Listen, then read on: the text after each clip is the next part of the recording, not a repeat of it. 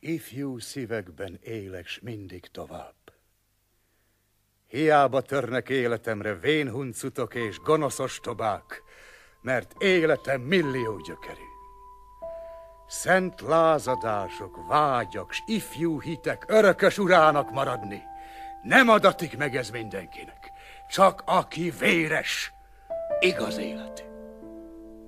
Igen, én élni s hódítani fogok egy fájdalmas nagy életjussal. Nem ér föl már szitkozódás, piszok. Jányok s ifjak szívei védenek. Örök virágzás sorsa már az enyém. Hiába törnek életemre. Szent, mint szent sír, s mint koporsó kemény, de virágzás, de élet és örök.